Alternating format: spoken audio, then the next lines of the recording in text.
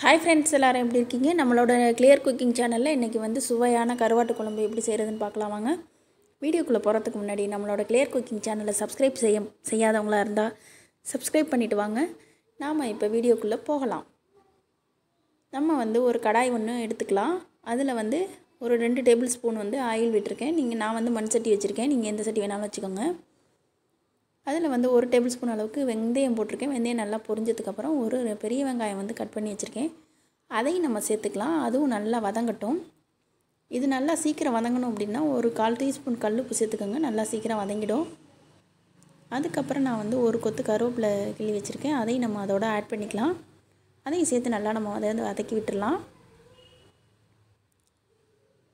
இதுக்கு வந்து ஒரு ரெண்டு தக்காளி வந்து கட் பண்ணி வச்சுருக்கேன். அதையும் நம்ம அதோட சேர்த்து விட்டுடலாம்.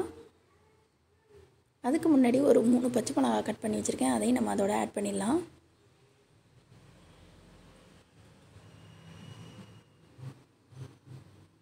இப்போ எல்லாத்தையும் சேர்த்து நம்ம வந்து கிளறி விட்டுடலாம். இது வதங்கிக்கிட்டு இருக்க சமயத்தில் ஒரு நெல்லிக்காய் சைஸ் அளவுக்கு நான் வந்து புளி எடுத்து ஒரு கிண்ணத்தில் ஊற வச்சுருக்கேன் தண்ணி ஊற்றி அதை இப்போ வந்து நல்லா வந்து கரைச்சி இன்னொரு பவுலில் வந்து நம்ம வந்து மாற்றிக்கலாம் இது மாதிரி கையாலே நம்ம வந்து வடிகட்டி விட்டுடலாம். வடிகட்டி சக்கையை நல்லா நம்ம புழிஞ்சு தூக்கி விட்டு அதை. அதுக்கப்புறம் வந்து ஒரு மூணு டேபிள் ஸ்பூன் அளவுக்கு நான் வந்து மல்லித்தூள் சேர்த்துருக்கேன்.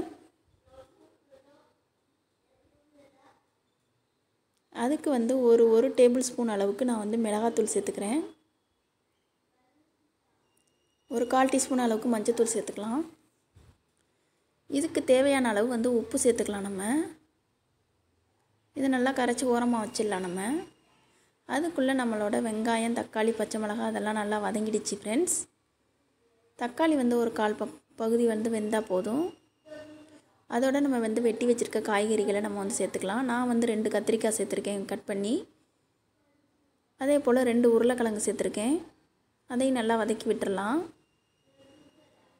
அதுக்கப்புறம் வந்து ஒரு கால் கிலோ வந்து ட்ரை ஃபிஷ் வந்து நான் வந்து மண்டையெல்லாம் கிள்ளிட்டு வந்து சுடுதண்ணியில் வச்சு ஊற வச்சுருக்கேன். அது ஊறிக்கிட்டு இருக்கு இப்போ வந்து நம்ம வந்து மசாலா தூள்லாம் கரைச்சி வச்சுருந்தோம் இல்லையா? அதெல்லாம் வந்து இதோட சேர்த்து நம்ம வந்து கொதிக்க விட்டுடலாம் நல்லா.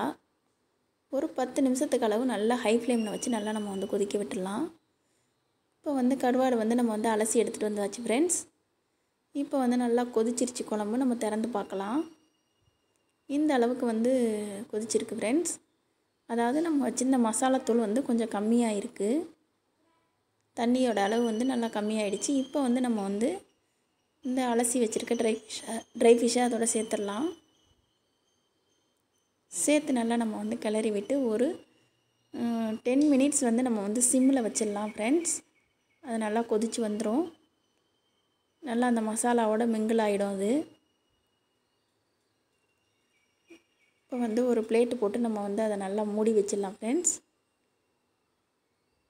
நம்மளோட நம்ம ஊற்றின எண்ணெயெல்லாம் நம்ம வந்து கொதிச்சிருச்சுன்னா பிரிஞ்சு மேலே வந்துடும் அந்த ஸ்டேஜ் தான் நமக்கு வந்து கரெக்டான ஸ்டேஜ் நம்ம இறக்குறதுக்கு எண்ணெயெல்லாம் பிரிஞ்சு மேலே வந்துடுச்சு ஃப்ரெண்ட்ஸ் நம்மளோட கருவாட்டு குழம்பு ரெடி ஆகிடுச்சு இப்போ வந்து நம்ம வந்து ஸ்டவ்வை ஆஃப் பண்ணிடலாம்.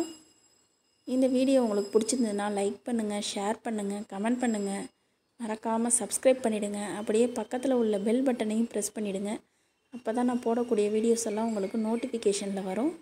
Thank you friends thank you for வாட்சிங் திஸ் வீடியோ